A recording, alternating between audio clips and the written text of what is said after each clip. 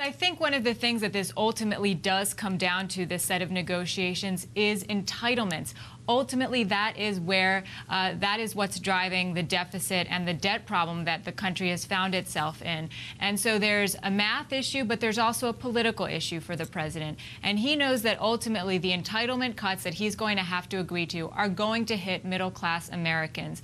And he needs to be able to show that when that happens, that he's asking the rich to pay a little bit more. And so one of he was he showed a lot of flexibility in the interview. You know, while he was saying that he's standing firm on taxes, he was showing flexibility on what those rates might end up being, also on entitlements such as raising the Medicare eligibility age, changing the cost of living adjustment for Social Security. That was all on the table in the summer of 2011. It was part of the proposal that Republicans put forth this week, but he knows that in order to be able to agree to that, ultimately, he needs to make sure that he's extracting something from Republicans, which are these tax cuts.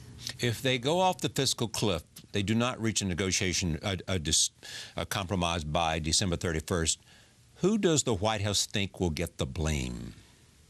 Well, I think it's not just the White House, Charlie. I think that White, the White House and Republicans see that Republicans are ultimately going to be blamed for this. And that's why you're starting to see some fissures among Republican rank and file. You had today, for example, about 40 House Republicans signing a letter and sending it saying that they think all options should be on the table including tax cuts and entitlements. You know, it doesn't seem to be moving House Speaker John Boehner, but what it could ultimately do is start the ground, lay the groundwork for providing him cover to be able to back off his insistence that they're not going to raise rates on top earners. And what that letter shows, I think, is that Republicans are acknowledging that the president does have the leverage in these negotiations. You know, over the summer, privately, Republicans, their aides were saying that they didn't think that the president would let it get to that point. They think he'd cave because that's what he's shown himself to do in previous budget negotiations the debt ceiling again